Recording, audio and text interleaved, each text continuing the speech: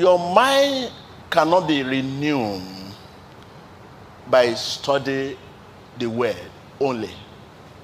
Tell your neighbor, your mind cannot be renewed by studying the word only. And you know, today we study the word. We have degree, PhD on the Bible, and uh, that could not make us pastors or Christian only. Listen to what I say. You must do the word. You must live the word. You must act the word. You must trust implicitly in the word because God and his throne are backing of every. This gives us a quiet and a restful confidence.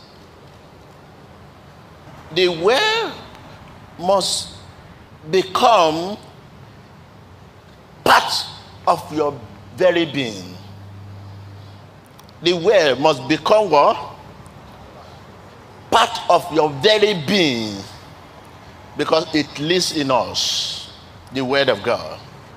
Just as our blood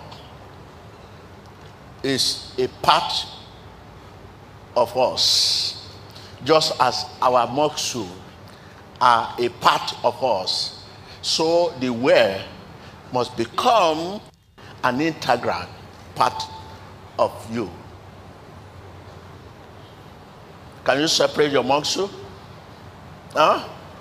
Just as your muscle are a part of you, just as your blood is a part of you, so word must become an integral part.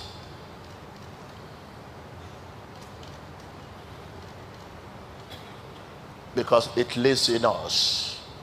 I hope your faith is lifted up. Thank you. I salute you.